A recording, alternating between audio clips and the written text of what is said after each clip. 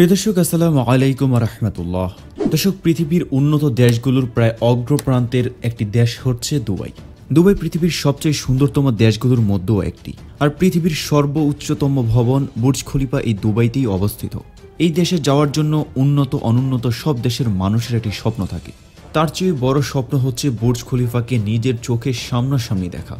আর দর্শক, এই স্বপ্নকে পেরিয়েও আরও বড় স্বপ্ন অর্জন করেছে বাংলাদেশের কুমিল্লার মোশাররফ। দর্শক, এবার বুর্জ আল খলিফার গায়ে কুমিল্লার মোশাররফের ছবি দেখানো হয়েছে।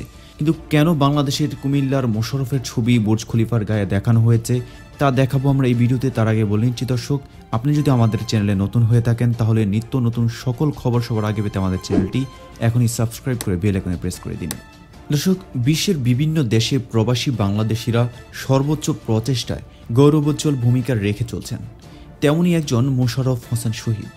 মহামারী করোনা ভাইরাসের ভয়াবহ সংক্রমণের মধ্যে সাহসী ভূমিকা রাখায় সংযুক্ত আরব আমিরাতে অবস্থিত বিশ্বের সর্বোচ্চ ভবন বুর্জ আল খলিফার গায়ের ডিসপ্লেতে ফুটে উঠেছে তার ছবি।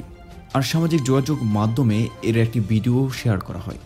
দুবাইয়ের স্থানীয় সময় বৃহস্পতিবার রাত বারোটায় আমিরাত সরকারের দৃষ্টিতে অতি মহামারী চলাকালে ফ্রন্টলাইন হিরোদের ভূমিকা পালন করা আটজনের ছবি একে একে প্রকাশ করা হয়। এর মধ্যে চার নম্বরে ভেসে ওঠে আটত্রিশ বছর বয়সী বাংলাদেশের কুমিল্লার সন্তান মোশাররফ হোসেন শহীদের ছবি। দু হাজার ছয় সাল থেকে মোশাররফ দুবাই মিউনিসিপ্যালিটির ইমার্জেন্সি পেস্ট কন্ট্রোল ডিপার্টমেন্টে কাজ করছেন।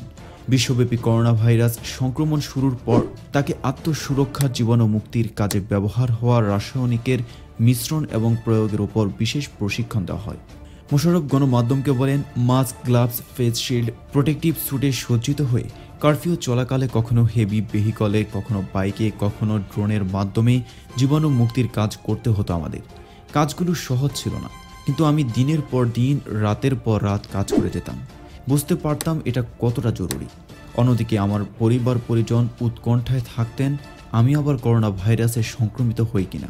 মোশাররফ আরও বলেন, সবাই আমার ওপর নির্ভরশীল, কিন্তু আমি জানি আমার দায়িত্বটা কত গুরুত্বপূর্ণ। মহামারী করোনা ভাইরাস মোকাবেলা করতে শেষ পর্যন্ত লড়ে যাওয়ার প্রত্যয় মোশাররফ হোসেন শহীদের। দর্শক, মোশাররফের এমন দুঃসাহসী প্রত্যয় এবং তার সফলতার ব্যাপারে আপনাদের কোনো মন্তব্য থাকলে অবশ্যই আমাদের কমেন্ট বক্সে জানিয়ে দেবেন। আর আপনি আমাদের চ্যানেলটি এখনও সাবস্ক্রাইব না করে থাকলে এখনই সাবস্ক্রাইব করে বেলাকনে প্রেস করে দিন।